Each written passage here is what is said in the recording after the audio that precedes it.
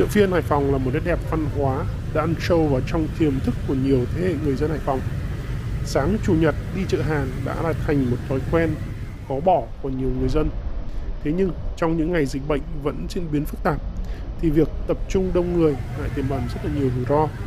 Ban quản lý chợ hàng đã có những thông báo để việc tạm về việc tạm dừng hoạt động của chợ thế nhưng mọi người vẫn tập trung uh, buôn bán ở các cái cung đường quanh chợ gây ra những cảnh ùn tắc nguy hiểm.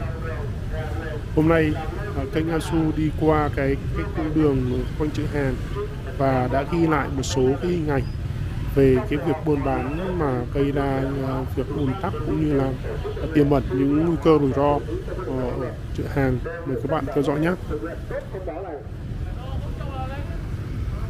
Đây là đường chợ hàng. Ờ, khu vực này chủ yếu là bán à, đồ cũ cũng như là bán ờ, quần áo, rồi ờ, các cái ờ, đồ làm vặt nữa các bạn ạ.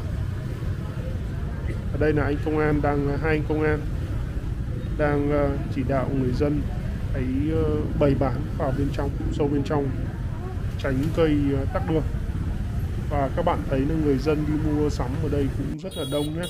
Đấy, mọi người đang đi bộ này.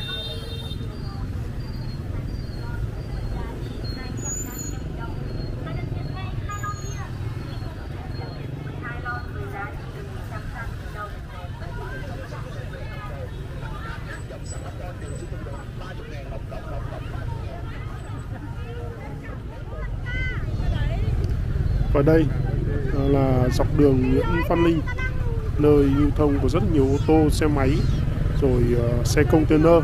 Nhưng mọi người vẫn cứ buôn bán tại đây uh, chiếm hết toàn bộ những vỉa hè ở quanh khu này. Khu vực này chủ yếu là bán uh, các loại gia cầm uh, chó mèo cảnh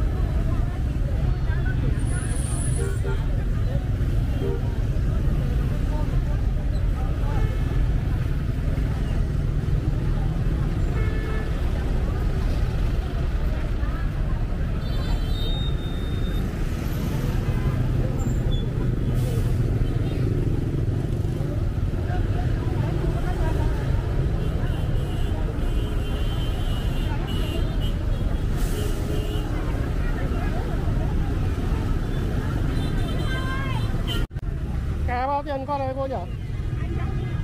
Cả tre à, Tre này, tre gì hả cô? Cả tre nhiều loại cả tre Cả tre trắng này, cô bán bao nhiêu? 200 con đều hơn mấy tháng đấy, cô nhỉ? Hơn mấy tháng rồi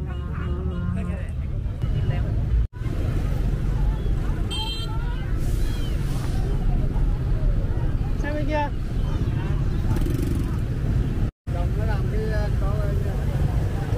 Dẫu biết rằng vì kế sinh nhai mà phải mưu sinh, nhưng xin một số bạn hãy có ý thức để cùng cả nước sớm đẩy lùi Covid nhé cũng như giữ cho Hải Phòng luôn xanh.